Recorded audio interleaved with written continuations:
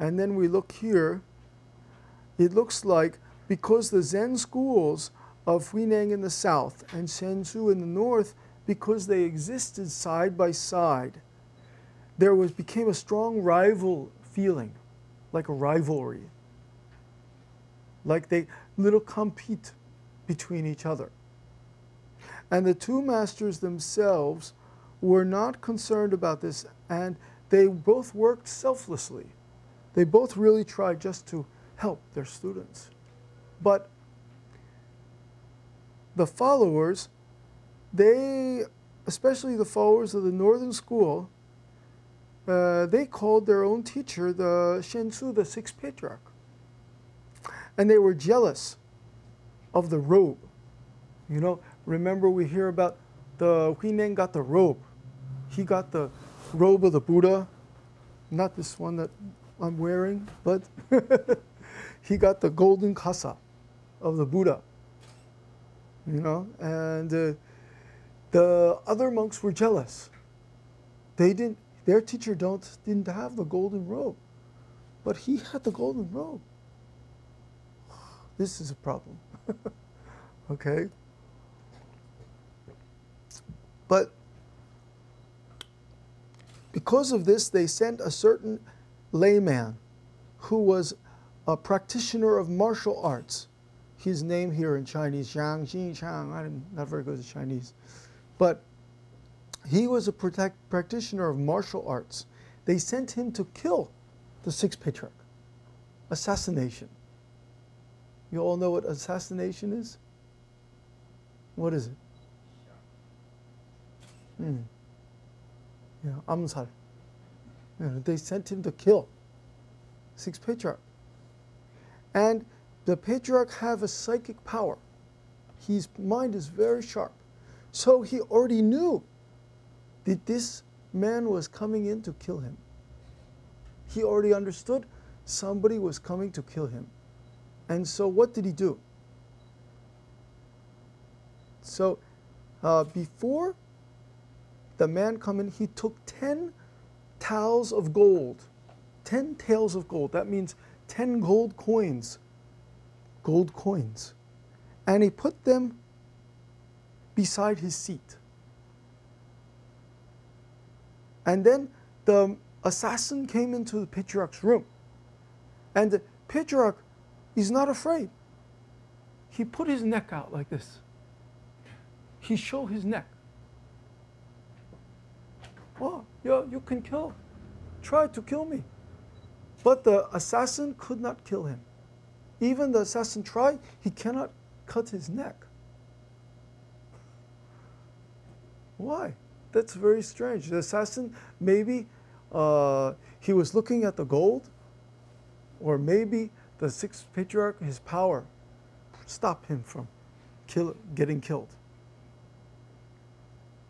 Then the sixth patriarch said three times with his sword. Three times he tried to kill with his sword. But cannot kill him. Then finally, the patriarch said, The correct sword is not crooked, while a crooked one is not correct. So your sword, something's not correct. Your sword have a problem. I owe you only money, but a life I do not owe. Wow. That's very interesting. He said, I only owe you money. I don't owe you a life. And nowadays, people's minds are very, uh, they're very scared, you know, and they have very little wisdom. So maybe somebody come in your house and try to kill you or try to take your money. Don't take my money, don't take my money. Ah. Then you get hurt. If somebody tried to kill you, uh, then give them your money is the correct thing to do. Already Sixth Patriarch understood that. He said, I owe you some money, but I don't owe you my life. Which is more valuable, the money or the life? Huh? Life is more valuable, of course. But he understood that maybe from the past karma, he owed him some money.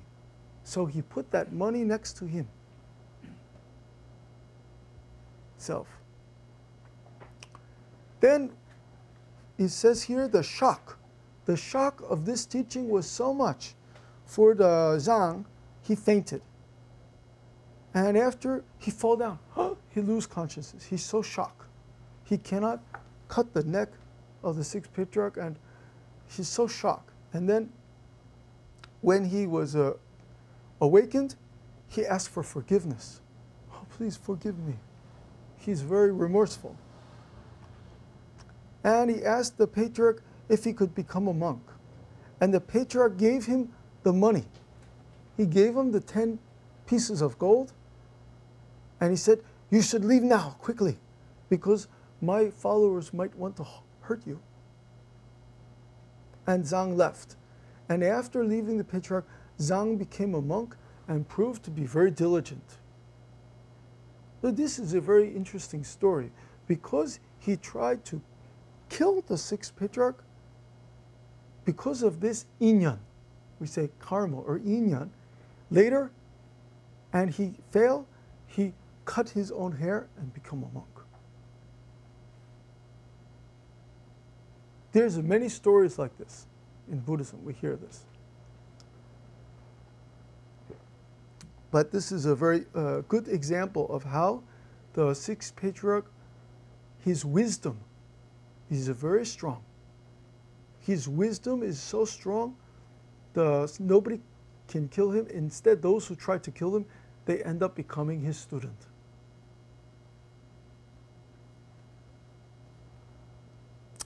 Then this Zhang left and became a monk. And later, uh, he remembered what the patriarch told him. This is much later.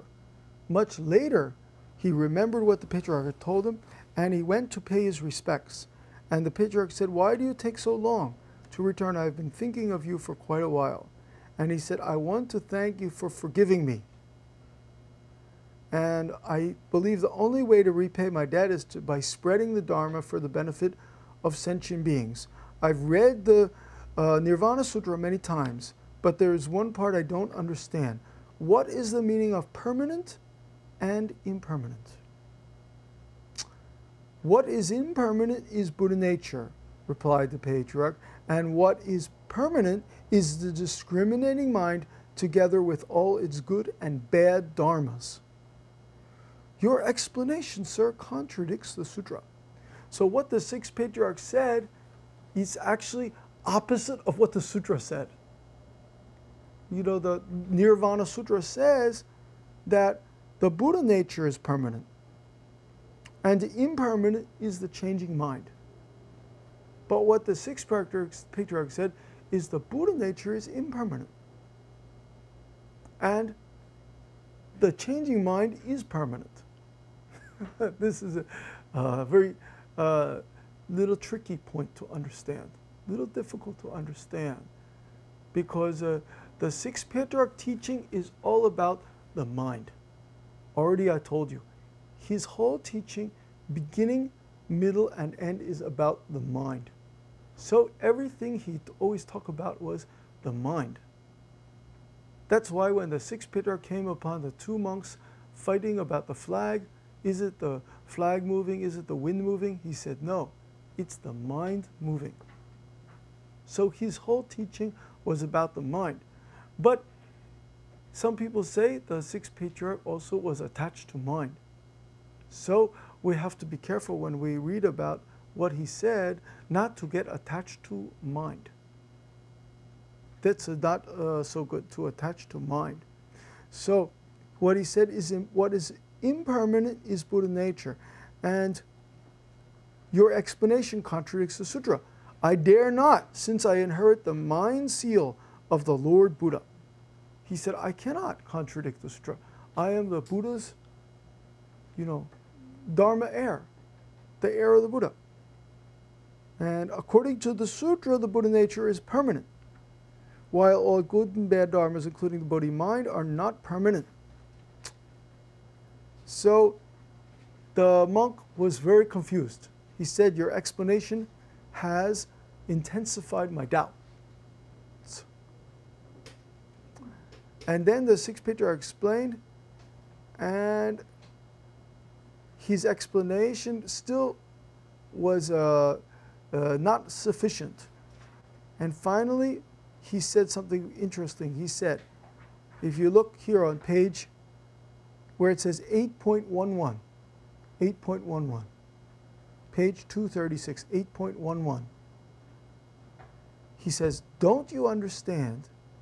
If Buddha nature is impermanent, if Buddha nature is permanent, if the Buddha nature is permanent, hmm. why would the Buddha have to teach about good and bad dharmas?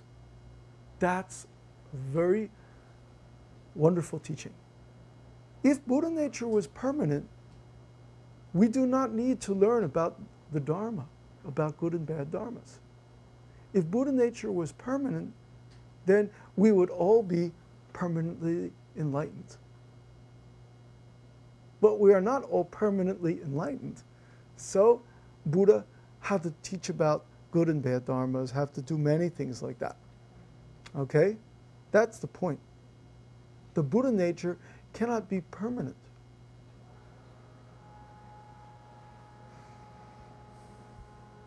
So he says, therefore, when I say impermanent, it is exactly what the Lord Buddha meant when he said permanent.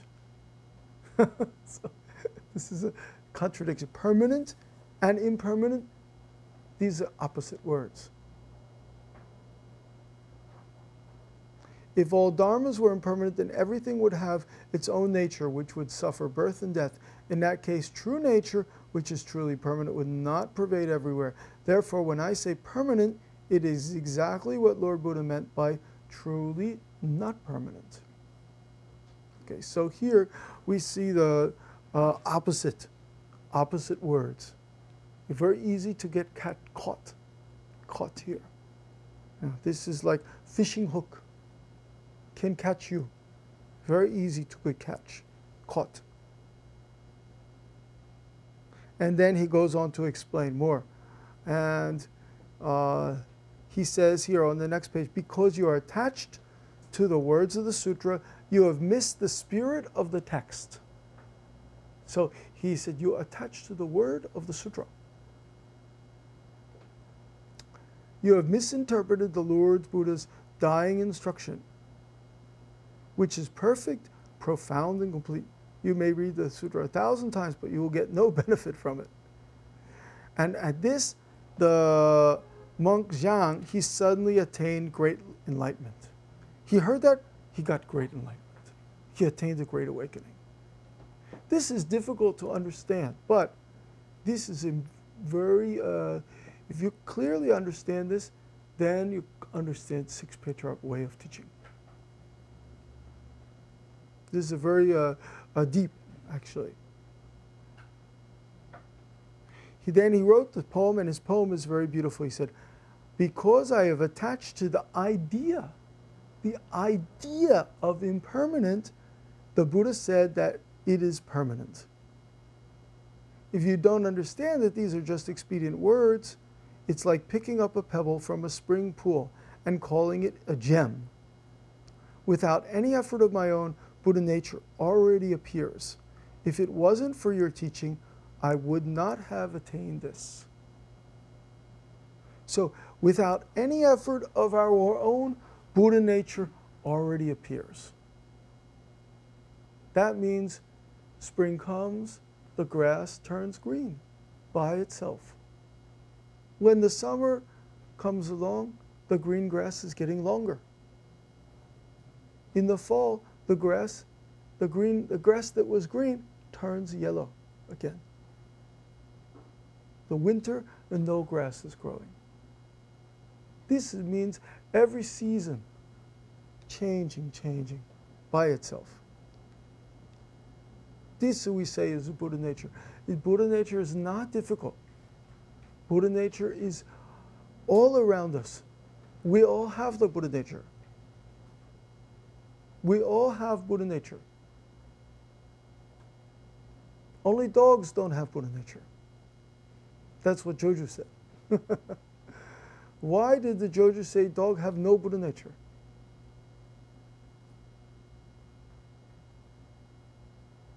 This you must find out. Okay. Then he said, Now you are complete. From now on, you should call yourself Zhiche, to realize thoroughly. Zhiche thanked the patriarch, bowed, and departed. Then he left. Okay. Then next, one day, a 13 year old boy, Shen Hui, he arrived from another monastery to pay homage to the patriarch. And the patriarch said, My learned friend, it must be hard for you, a young boy, 13 years old, to undertake such a long journey. He asked him, You are 13 years old, you know? You are a young, very young boy. Must be difficult for you to take such a long journey.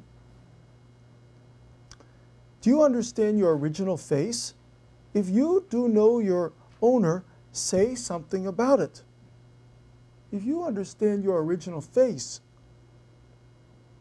which he meant your master, your original face, your master, your 주인공. Do you understand your 주인공? Or your Korean's original face is 본래 면목. Do you understand that? And then the, the young, very young novice monk, he said, non attachment is our original mind. Seeing that is the master. This is actually not bad. It's little, but too many words, too much of explanation. Sounds okay, but he said, non attachment is our original mind. Seeing that is the master. Then the sixth patriarch, he scolded him. He said, Novice monk, you know, Sami Sinim, novice monk, you are fit for nothing but loose talk. You are gab. You are the gab, blah, blah. You are gab.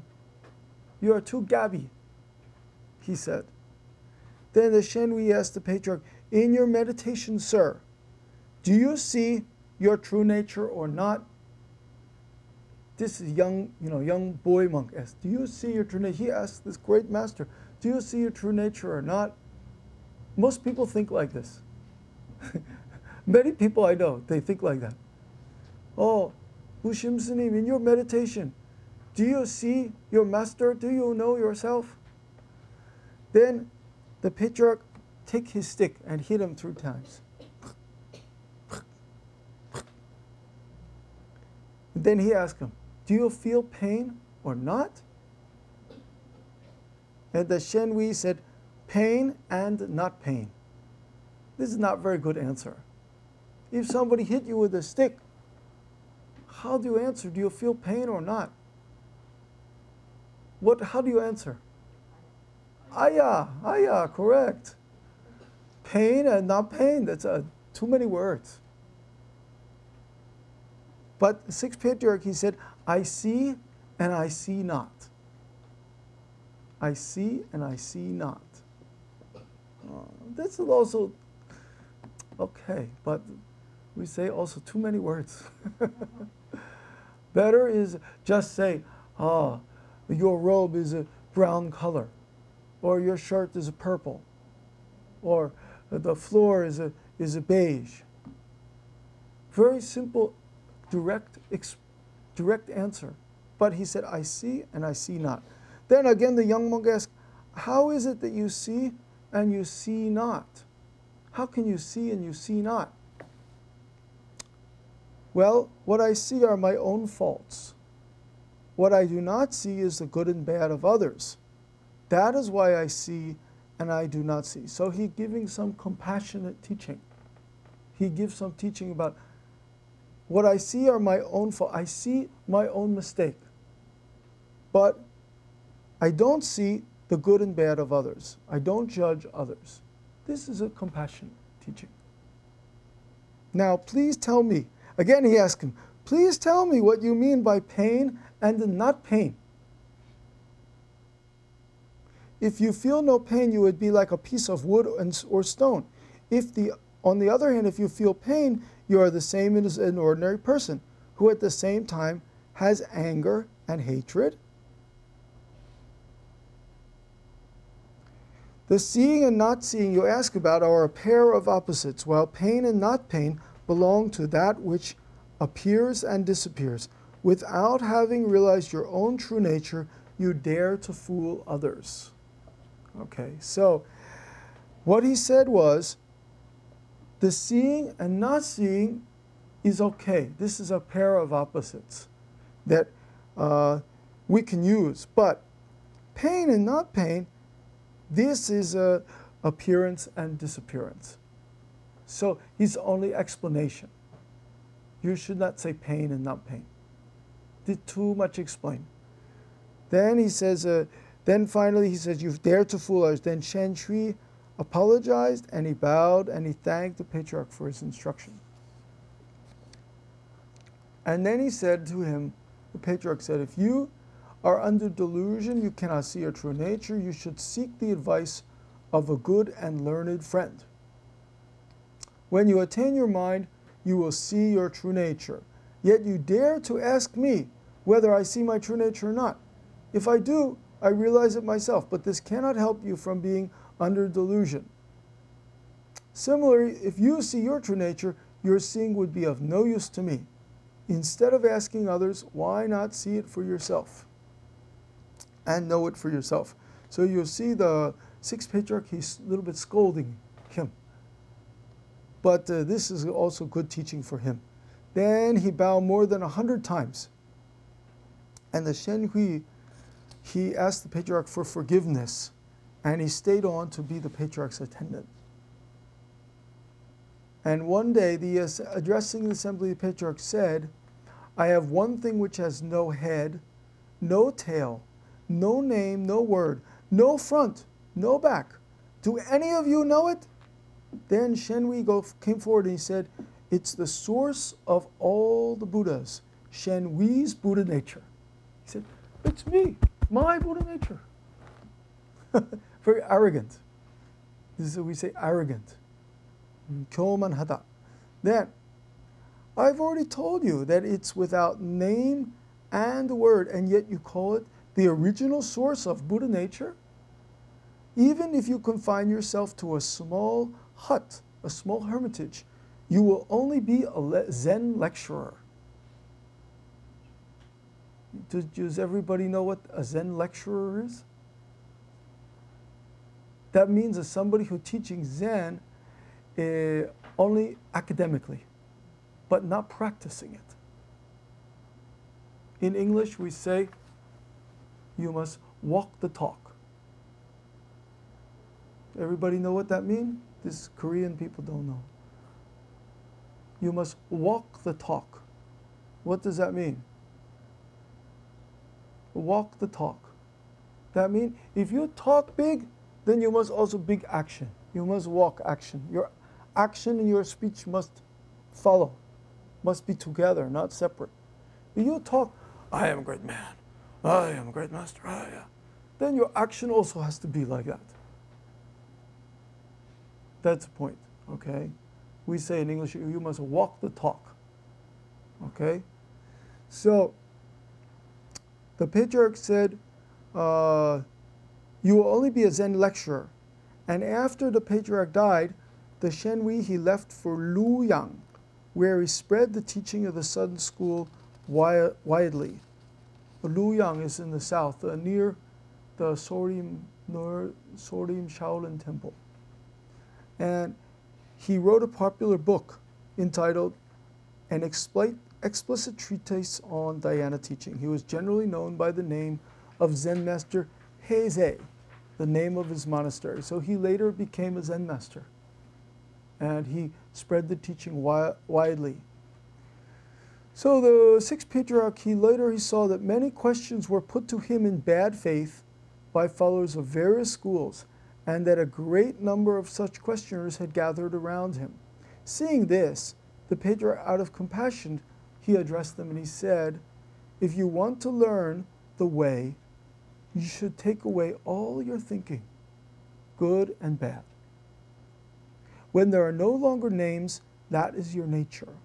The nature of non duality is called true nature, and is the basis of all teaching. One should realize their true nature as soon as it is mentioned. And after everybody heard this, everybody in the assembly bowed and asked the patriarch to allow them to become his disciples. So uh, we see here that uh, even though maybe we don't understand some of these teachings, these teachings were very profound and they very deeply affected the people at that time. And uh, this was the basic uh, Zen teaching that later became very popular in China. After the sixth patriarch died, the Zen school became very big in China.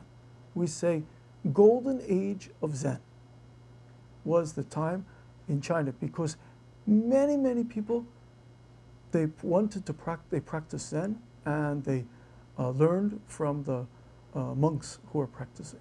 So we say the golden age of Zen because many common people uh, were able to uh, bring Zen into their everyday life.